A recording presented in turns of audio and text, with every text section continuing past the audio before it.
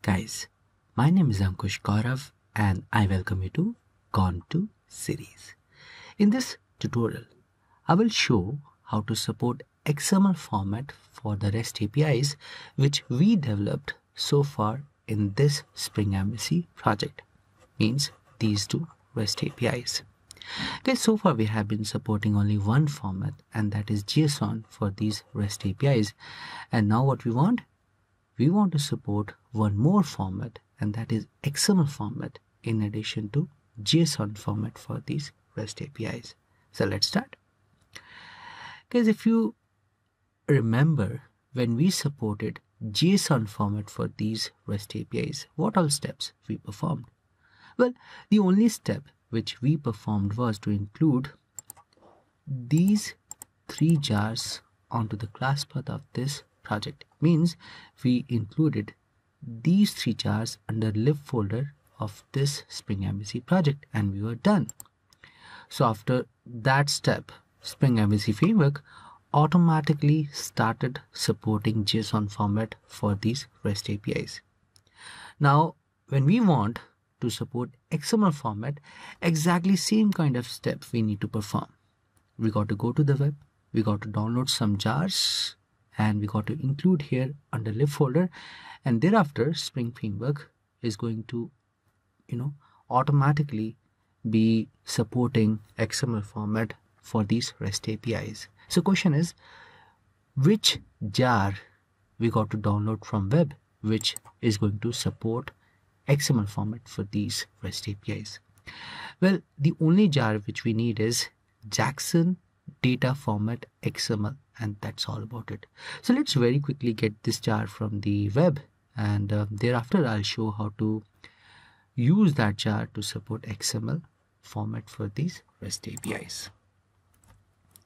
Let's go to Google and type here Jackson data format XML it will take us to the maven repository for the same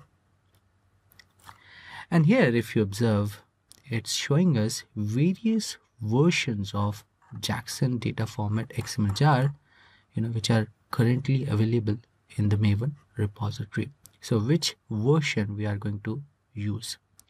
Well it depends on which spring version you are using in your spring MVC project because i'm here using Spring 432 release and the compatible version for this Spring, you know, for Jackson data format XML is 281.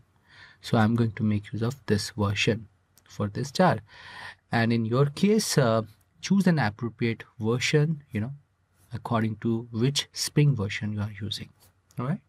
So let me click over here and here we have reached to Jackson data format XML 281 version.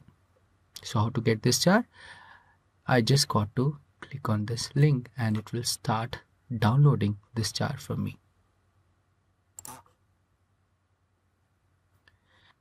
Now an important point to understand here is even after downloading this jar and including onto the class path of this project still the project is not going to support XML format. It will show some kind of errors when you request it to, you know, send response in XML format. Why? The reason is this jar further depends on few other jars. For this jar to work properly, you have to download those jars as well.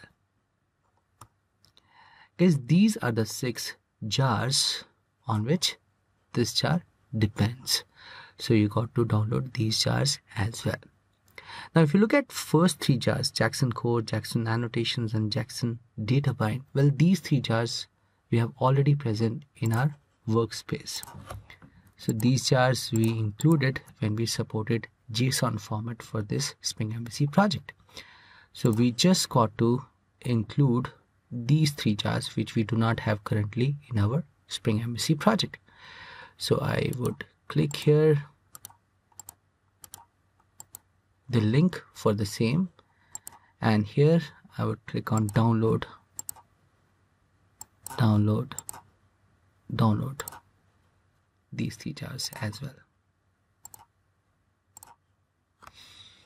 Cool. So we have downloaded these uh, four jars. So this jar we wanted to download jackson data format. And because this jar further depends on these three jars so we downloaded these three jars as well. Now let's include these four jars onto the class path of this project.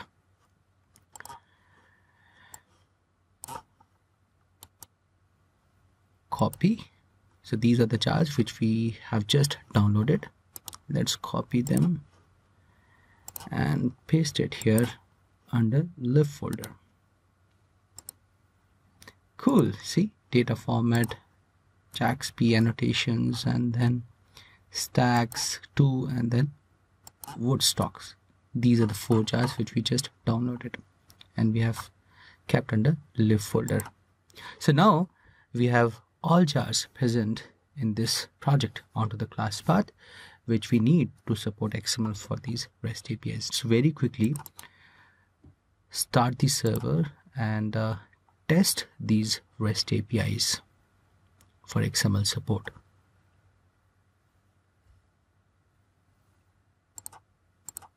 Guys, to test these two REST APIs for XML support, I'm going to make use of Postman tool, which I showed you know how to use in the last tutorial.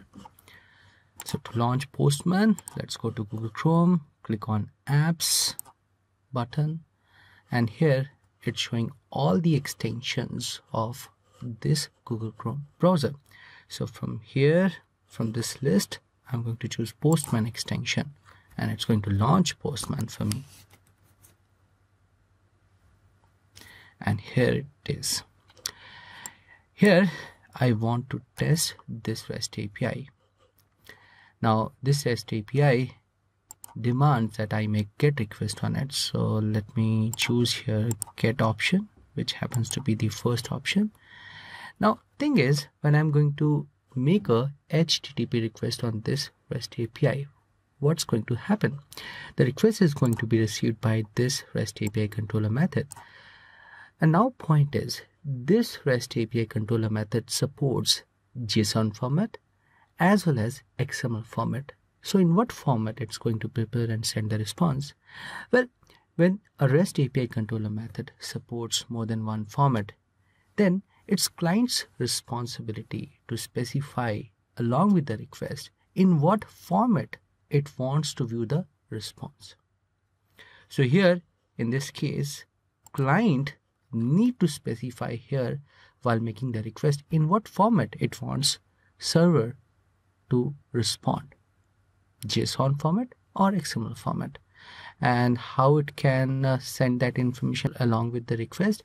Well it has to attach a header with a key accept along with this request to the server and how to do that. You have to go to the headers tab and here you have to include a key with the name accept. With its value as application slash xml now if you want to request server hey server please send me response in xml format. Then you write here application slash xml and here if you want to request server to send response in json format in that case right here application slash json. So because we want to first test uh, xml support so let's keep here application slash xml for accept key. And now let's uh, make the request. So when i'm going to press enter it's going to make http get request on this rest api and along with this request it's going to send a key and a value you know accept with its value as application slash xml to the server. Cool. So here server has sent us the response in the xml format. Guys now this rest api supports xml in addition to json format. And this is the proof for the same now let's request for the response in json format by changing application slash XML to application slash JSON. See here, now this time server has sent response in JSON format. In the similar ways, we can test this second REST API as well. Here, let's type the name in the end, make a GET request. We want a response in JSON format.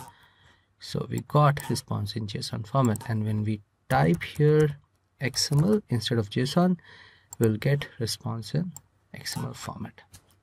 So that's how we are able to get response in the desired format from the server.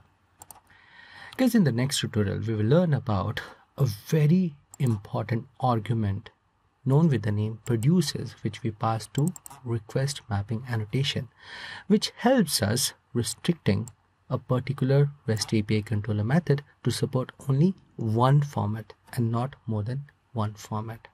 Alright, guys, a big thank you for learning REST API concepts using Spring MVC framework with me.